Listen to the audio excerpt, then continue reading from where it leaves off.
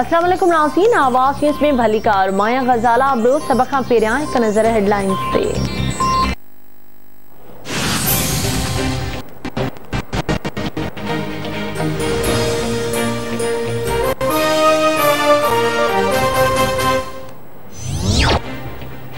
ख़िते जूं हालतूं तेज़ीअ सां तब्दील थी रहियूं पाकिस्तान में ख़िते में इंतिहाई अहम किरदारु अदा करण लाइ वञी रहिया भारत जा इदारा पाकिस्तान जे अमन खे मुतासिर करण जी साज़िश में रुधल आहिनि। कश्मीर जो मसइलो हल थियण खां ख़िते में अमुन मुमकिन नाहे। अफ़गानिस्तान जो अमुन पाकिस्तान जो अमुन आहे। नालाइक अपोज़िशन माँ हुकूमत खे को बि ख़तरो ना वफ़ाक़ी घरू वज़ीर शेख रशीद जी इस्लामाबाद में प्रेस कॉन्फ्रेंस।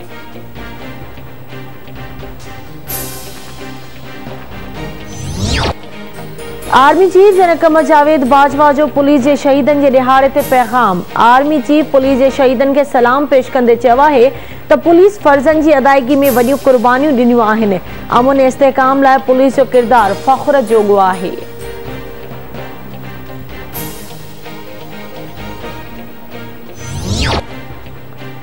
वज़ीर आज़म ऐं पीटीआई चेयरमैन इमरान ख़ान सरदार अब्दुल कयूम नियाज़ी खे आज़ाद कश्मीर जे वज़ीर आज़म लाइ नामज़द करे छॾियो।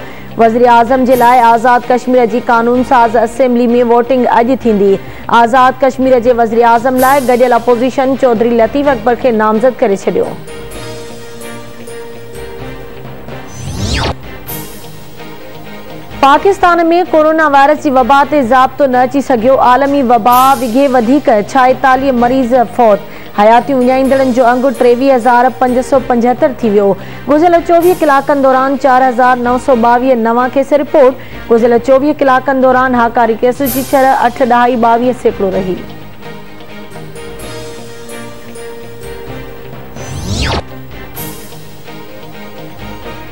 इस्लामाबाद के ख़ानगी अस्पताल में कोरोना वबा सबब दाख़िल सुप्रीम कोर्ट के सीनियर जज जस्टिस काज़ी फायज़ ईसा की तबियत में सुधारो। ऑक्सीजन सिलेंडर हटाए वियो। जस्टिस काज़ी फायज़ ईसा बयान आहे त एहतियात न कर सबब कोरोना पखिड़िजी रहियो आहे। एहतियात सां ई कोरोना वबा के शिकस्त ॾेई सघिजे थी।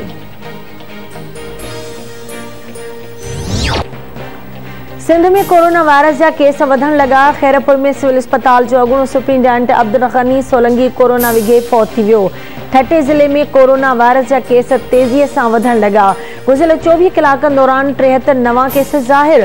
कोरोना विघे इंजीनियर तारिक मेमण फौत थी ठटे ज़िले में कोरोना विघे फौतियुनि जो अंगु वीह थी वियो